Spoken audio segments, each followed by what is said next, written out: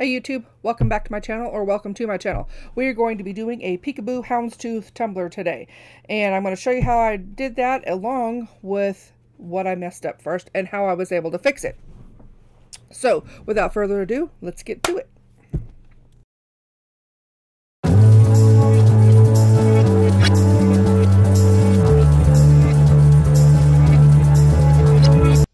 Okay, we are starting off with me removing the little film off the bottom of the cup. I am actually kind of struggling with this one because it doesn't want to come off.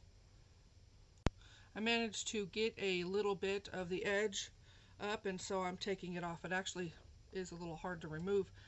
Um, I'm sure that's for a reason. And of course I have to remove that little bit with tweezers because it was kind of stuck under the edge.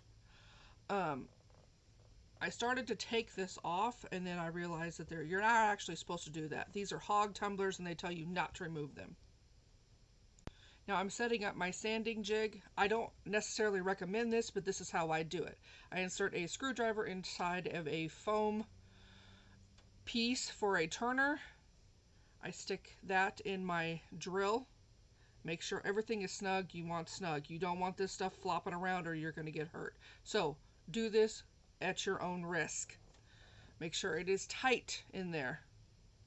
And then you put your cup on the uh, on the foam. You want I chose the big piece on purpose because you want a snug fit. Again, you don't want this wobbling around or you will get hurt. So choose you a piece of sandpaper of your choice. I chose, I think it was a 300 grit or three, I don't know, it was just below the 400. And start sanding. You don't need to do a whole lot. You just need to knock that shine off there.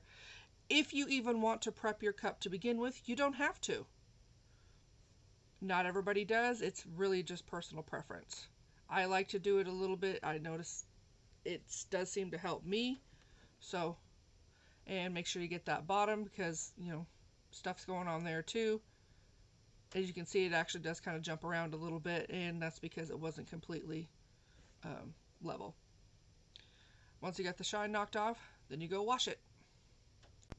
Okay, now my whole idea is I'm having three glitter colors and so I mixed up three paint. It's a little too cold outside to spray paint so I am using some Crystalac uh, Basic White as a base and then I'm going to be adding the uh, alcohol ink to it.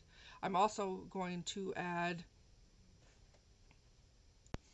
a little Mod Podge in there so that way it, you know, it's like a colored glue. Um, you can actually buy this stuff pre-mixed with it's put out. I think it's like a color pop or a pop. It's called pop of color. I don't have any of that, so I have to make my own.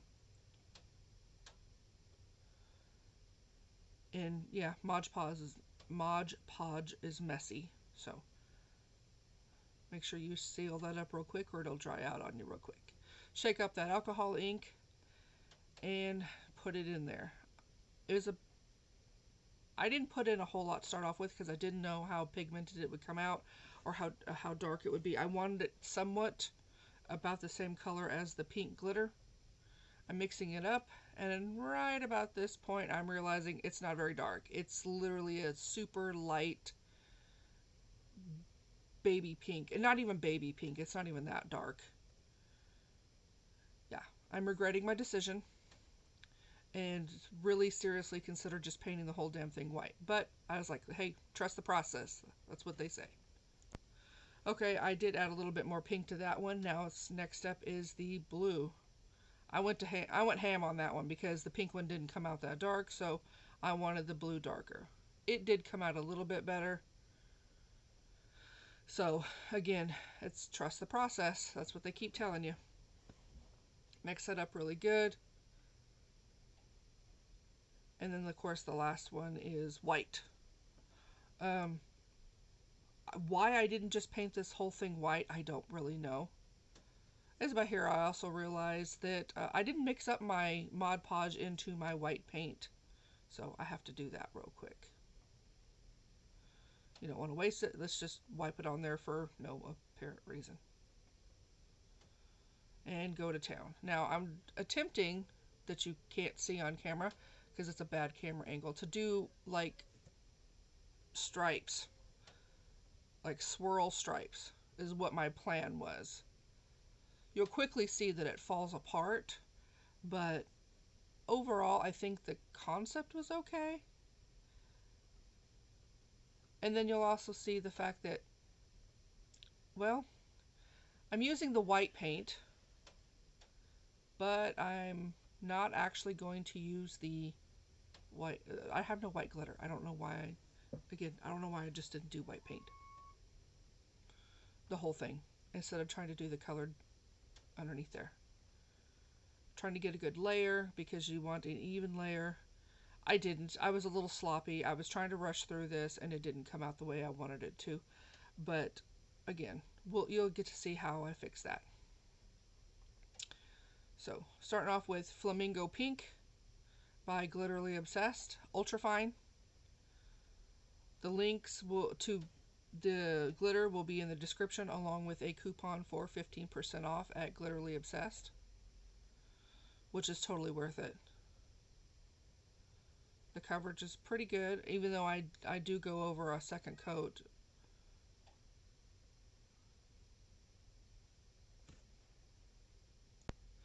I'm actually trying to um, fix that spot because it was the glitter or the glue was very cl uh, clumped up right there because I was in a I was too much of a hurry. I wasn't taking my time like I should have. When these when you're doing these, it's best to take your time. Yes, you want to get them done as fast as possible, but so it, taking your time is always better. And these stands are freaking awesome. Um, I I want to get a better one, but they'll work. They they work in a pinch. Make sure you save your glitter because wasting glitter is the 11th commandment. Thou shalt not waste glitter. The next one we are doing is the blue. I'm not even worried about, oh no, we're doing pink. I'm not even worried about rinsing my brush off because white into the pink, it's really not going to make a big difference at this time. Again, pink. Well, I mean, I was the pink was supposed to be for the pink glitter, but I, I don't know what I was thinking. So we're I'm going to follow the next stripe.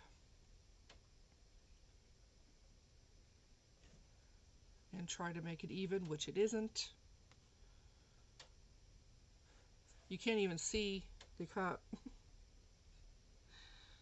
oh, I'm so bad at this. And we're going in with the Mystery Mix Aphrodite from Glitterly Obsessed.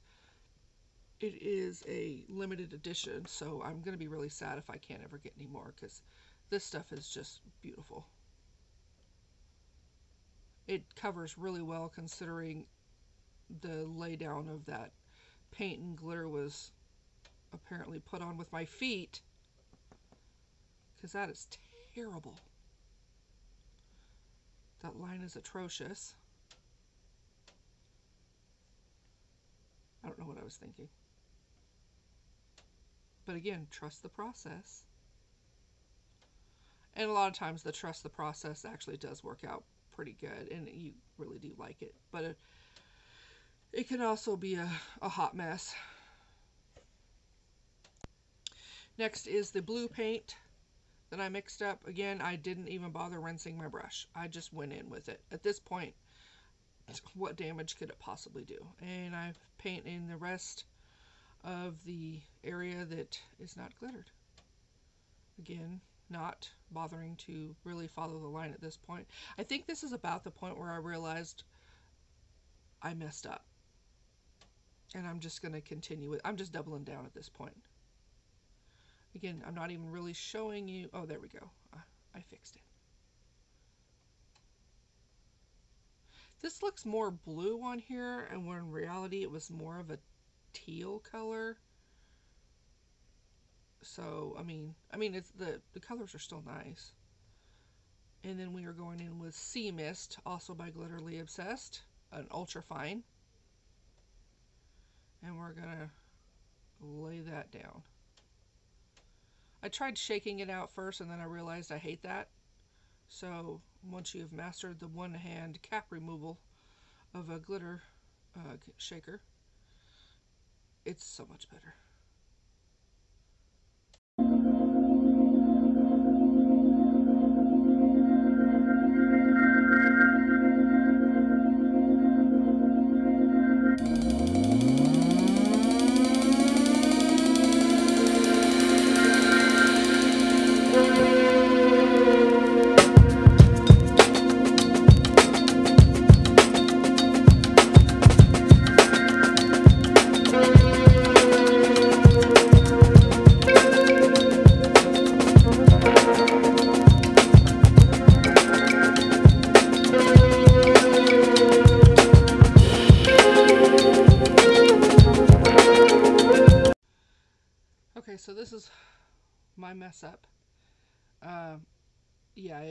It, turned out to a hot mess. It's one of those trust the process that I totally screwed up. So we're going to fix it. Okay, what I did here is I basically just took that chunky glitter, the Aphrodite, and I covered the whole cup in it. And then, of course, I put a layer of a Speedy PD epoxy on there. Okay, so I have a pre-cut template here of uh, a houndstooth design, and I'm going to just kind of do a full wrap on this. So I've already pre-sanded and uh, cleaned it off really, really good. I tried to make it as smooth as possible so this lays down. So let's get to it.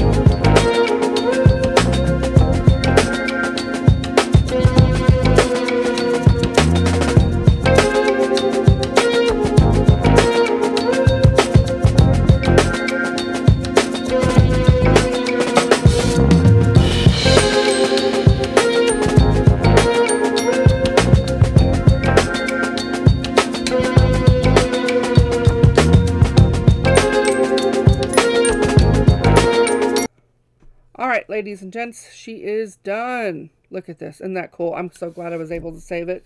The glitter is absolutely beautiful. Um, I will put a link in the description to everything that I used, along with a code for 15% off from Glitterly Obsessed, which is the glitter I used. And I will see y'all next time. Don't forget to like and subscribe, and I'm out.